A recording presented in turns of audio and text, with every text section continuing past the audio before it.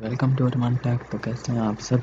ये हमारी वेब की क्लास नंबर थ्री है। तो पहले दो क्लास में हमने कुछ एक दो टैग्स वगैरह सीखे इंट्रोडक्शन वगैरह सीखा है। तो अब ये हमारे क्लास नंबर थ्री है। तो इसमें भी हम कुछ टैग्स वगैरह सीखेंगे जो कि, के बहुत ही ज़्यादा इम्पोर्टेंट होते हैं, जो बहुत ही ज़्यादातर वेबसाइट वगैरह में यूज़ होते हैं। तो अभी मैं इन इस ऊपर वाले कोई कॉपी करके बी आर बी आर को इधर नीचे लगा देता हूँ। चार बार ये ब्रेक लाइन हो जाएगा।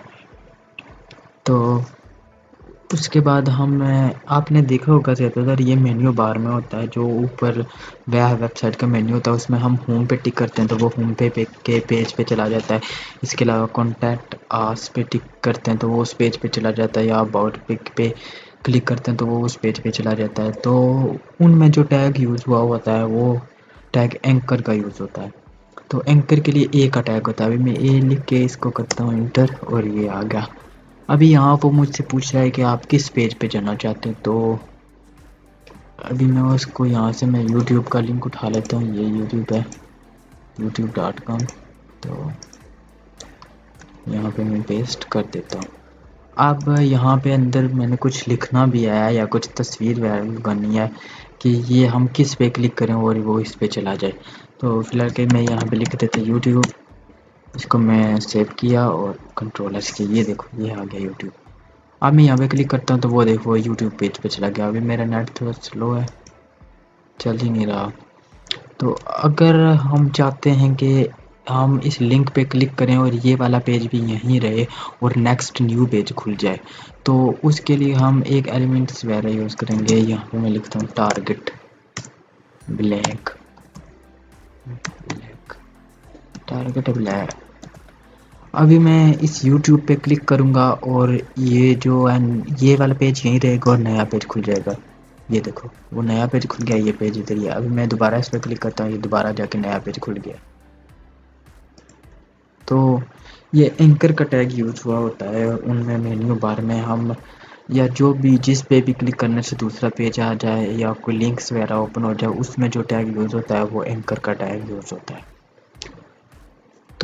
उसके अलावा एक टैग होता है स्पेन का। स्पेन का, ये सिर्फ़ नाम का एक टैग है। जैसे एंकर टैग होता है लिंक के लिए पी टैग पैराग्राफ के लिए एच टैग जो एच वन से सिक्स तक है हेडिंग के लिए। लेकिन जो स्पेन टैग है, ये किसी के लिए यूज़ नहीं होता।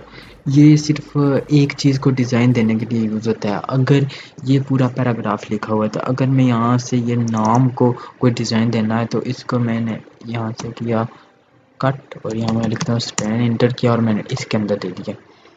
अब देखना ये वैसे ही आएगा। अब मैंने इसको डिज़ाइन वगैरह देना है तो वो स्पेन का टैग में एलिमेंट में जाके सी एस एस में लिखूँगा और वहाँ जाके मैं इसका कलर चेंज कर दूँगा। ये हो जाएगा। तो ये आपको समझ आ गया है। लेकिन इसमें ये बात है कि अगर मैं यहाँ से मैं आपको बताता हूँ कि हमें यूज़ करता हूँ पी का टैग ये मैं थोड़ा सा पैरा इसको यूज़ कर लेता हूँ।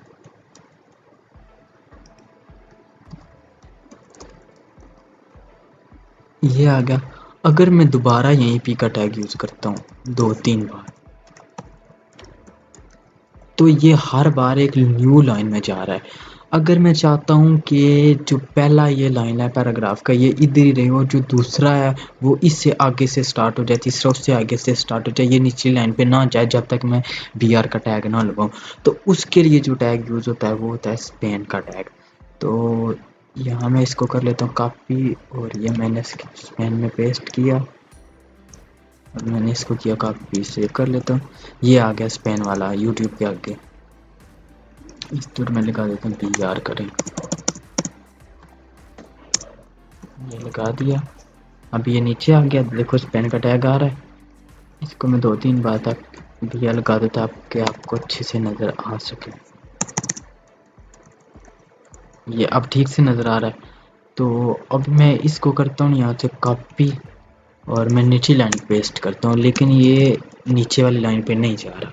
ये उसी के आगे आ रहा है। जितनी मर्ज़ी बार मैं इसको तीन लाइनें स्टार्ट करूँ। ये देखो, ये उसी लाइन के आगे आ रहा है, ये नीचे नहीं जा रहा।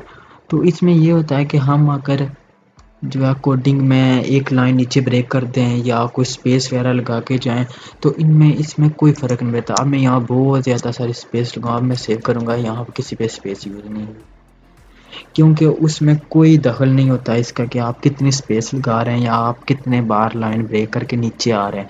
जब तक आप टैग नहीं लगाएँगे तब तक वो कुछ नहीं होगा। अगर मैंने किसी दोनों के दरम्यान में स्पेस देनी है तो उसके लिए मैं मार्जिन लेफ़्ट यूज़ करूँगा या पैडिंग यूज़ करूँगा या विथ वगैरह। इस तरह बहुत से वो सी एस एस के एलिमेंट्स वगैरह होते हैं, वो मैं यूज़ करूँगा। लेकिन अगर मैं पैराग्राफ में जितनी मर्ज़ी स्पेस दे लूँ, वो स्पेस यहाँ नहीं आएगी। तो आज के लिए बस इतना ही। तो अब हमारी आगे चौथी क्लास आएगी, उस क्लास में हम कुछ लिस्ट वगैरह के टैग सीखेंगे कि हम लिस्ट वगैरह कैसे बनाते हैं। तो अब तक के लिए ही तो मिलते हैं नेक्स्ट क्लास में।